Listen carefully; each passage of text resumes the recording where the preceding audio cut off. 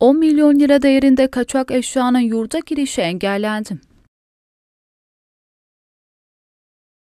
Edirne Gümrük Muhafaza Kaçakçılık ve İstihbarat Müdürlüğü ekiplerince Kapıkule Gümrük Kapısı'nda gerçekleştirilen risk analizleri neticesinde bir tır şüpheli olarak değerlendirildi. Tarama sonucunda tırın dorsesinde şüpheli yoğunluk olan bölgeler tespit edildi. Daha sonra tır detaylı arama yapılmak üzere arama hangarına alındı. İncelemede piyasa değeri yaklaşık 10 milyon lira olan çeşitli eşya ele geçirildi. Olayla ilgili tır sürücüsü de gözaltına alındı.